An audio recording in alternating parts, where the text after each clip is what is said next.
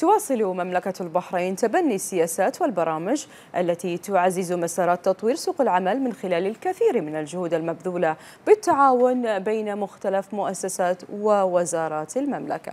هذا وتكثف هيئة تنظيم سوق العمل جهودها خلال شهر رمضان المبارك للتصدي لمختلف الممارسات غير القانونية في سوق العمل.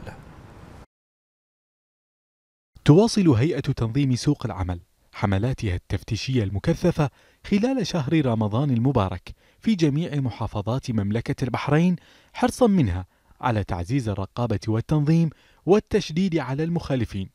وتأتي هذه الحملات بالشراكة والتعاون مع مجموعة من الشركاء وعلى رأسهم وزارة الداخلية.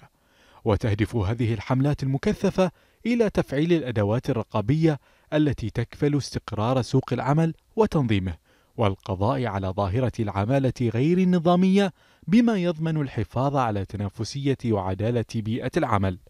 كما تسعى هيئة تنظيم سوق العمل للتصدي للممارسات غير القانونية في سوق العمل، وتدعو دائما جميع أفراد المجتمع للتكاتف ودعم الجهات الحكومية فيما يتعلق بالتصدي للعمالة غير النظامية حماية للمجتمع ككل.